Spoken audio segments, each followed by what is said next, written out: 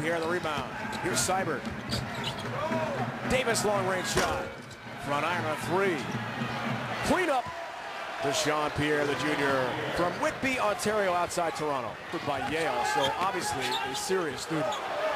But seriously lost the ball there. And Scoochie Smith on the pick and finish on the other end. Transition basketball for Dayton again. Well, that was great transition by the Billikens there, but you'll see the long pass is thrown away. But watch how quickly Sibert gets down court and goes straight to the basket. You got to stop him a lot sooner up close by the foul line. Now Crawford gets a tip from behind and turnovers. You had 19 turnovers the Billikens had against Fordham. And that leads to an easy two by Scoochie Smith. Roger.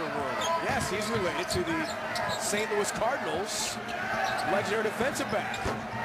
Long range shot, Davis. That's a sweet stroke. One of the guys that has some leadership because he's an older guy. Getting the ball and then taking it to the hoop. Total try. Just that blocked away. Pollard up high says no. What Archie Miller's done with this completed roster just fantastic.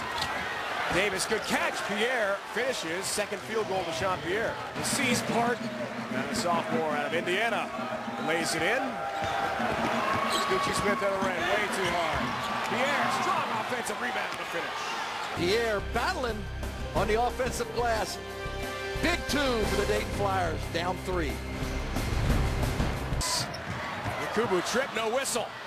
Davis couldn't find the handle. Comes to Crawford. Lefty layup. A miss there. Bodies everywhere. Pierre's got another rebound. Davis thinking three. You bet. Darrell Davis has hit four threes in the game tonight. Well, you see the trip, and then Crawford's able to get it back. He misses the chippy. See, Yakubu's under the basket, too far into the basket, and the transition offense by the Flyers, yielding three. Yakubu can't finish either. Scoochie Smith finds it with six seconds left. And he'll dribble it out. And that will do it. Three game, A-10 road losing streak over for Dayton. A very necessary and impressive road win for Archie Miller and the Flyers.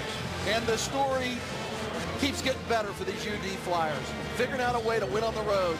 Tough environment, didn't play well, but it's a W nonetheless.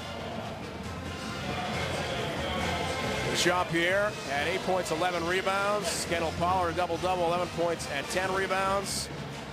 Darrell Davis had four threes and 12 points.